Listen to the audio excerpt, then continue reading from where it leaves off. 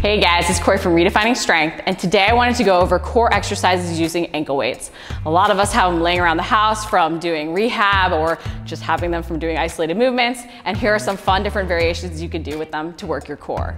If you like the video, make sure to like it, comment below if you have any questions, and subscribe. We're posting new videos each week. Enjoy!